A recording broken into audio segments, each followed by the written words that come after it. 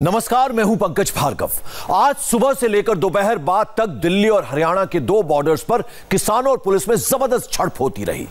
आखिरकार दोपहर करीब तीन बजे दिल्ली पुलिस ने किसानों को दिल्ली में एंट्री की इजाज़त दे दी। सबसे पहले आपको इस वक्त की तस्वीर दिखाते हैं। पंजाब, हरियाणा के किसान दिल्ली में दाखिल हो रहे हैं। पुलिस किसानों की हर मूवमेंट पर नज़र रख रही है। हरियाणा सरकार ने भी पंजाब से लगते अपने सभी बॉर्डर्स को खोल दिया है। किसानों को दिल्ली के बुराड़ी में निरंकारी समागम मैदान में प्रदर्शन की इजाज़त दे दी गई। किसान इससे आगे दिल्ली में नहीं जा सकते। लेकिन दिल्ली में एंट्री इतनी आसान नहीं थी।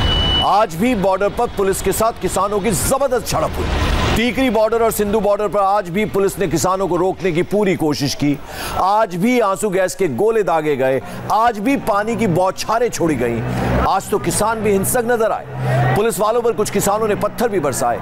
कुल मिलाकर किसान पीछे हटने को तैयार नहीं नज़र आए। आखिरकार दिल्ली पुलिस ने किसानों को बुराड़ी ग्राउंड में जो निरंकारी समागम मैदान है, वहाँ प्रदर्शन की अब इजाज़त दे दी।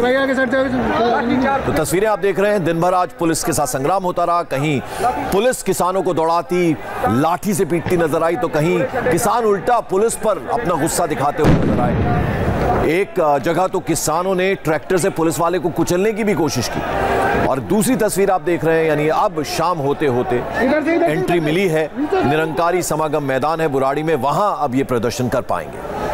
फ़िलहाल यहाँ रुकते हैं एक छोटे से ब्रेक के लिए। ब्रेक के बाद आपको लिए चलेंगे दिल्ली के बुराड़ी ग्राउंड।